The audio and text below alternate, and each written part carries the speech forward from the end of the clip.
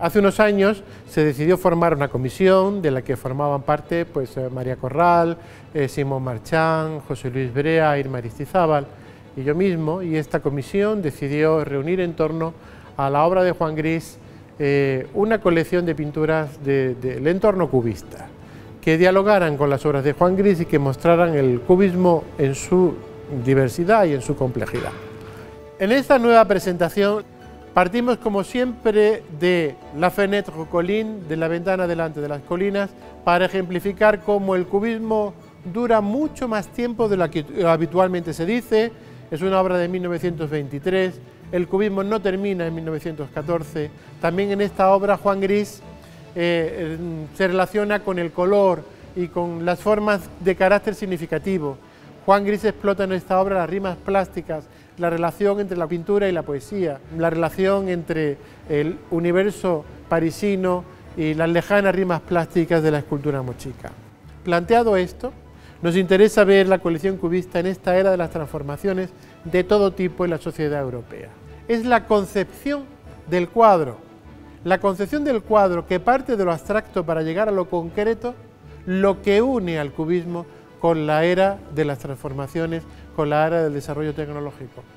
A partir de ahí relacionamos la obra de Juan Gris con eh, los cubistas argentinos y pasamos a un segundo capítulo en la que intentamos poner de manifiesto la existencia de un segundo cubismo,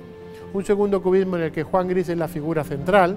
y que, en el que pertenecen al mismo tiempo Glés, Metzanger, María Blanchard, André Lot, Valmier, toda una serie de pintores que pasan a formular una segunda vida del cubismo. A partir de ahí reflexionamos de nuevo sobre las identidades del cubismo en las obras de Juan Gris y en un tercer capítulo titulado Geografía de lo Moderno hablamos de la relación de Juan Gris y de la expansión del cubismo a otros moldes y sobre todo de más relaciones de la obra de Juan Gris con artistas latinoamericanos, especialmente con Rafael Barradas, y con Joaquín Torres García, quien en el universalismo constructivo dejó claro en el capítulo dedicado a Juan Gris que para él Juan Gris era el punto referente del universalismo constructivo que tenía que dar origen a un nuevo arte latinoamericano. La exposición se completa en la medida de lo posible con referencias de tipos diversos.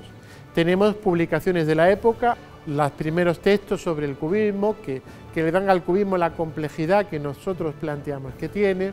También repasamos la relación entre Juan Gris y Vicente Huidobro, mostrando cartas inéditas de Gris a Huidobro, en las que Gris establece principios de su poética, de su pensamiento político, de su relación con España, de su situación personal. Acabo de recibir creación y te envío mil gracias y otras tantas felicitaciones. Planteamos también la teoría crítica de Albert Glés a través de sus publicaciones. Abundamos en la relación de Juan Gris con Gertrude Stein porque creemos que intervino Gertrude Stein en un momento decisivo para consagrar la figura de Juan Gris y ofrecemos también un material inédito a propósito de un texto de Ramón Gómez de la Serna dedicado a Juan Gris que explicita el enorme interés del escritor madrileño por el pintor y el conocimiento que existió entre ambos desde hace tiempo.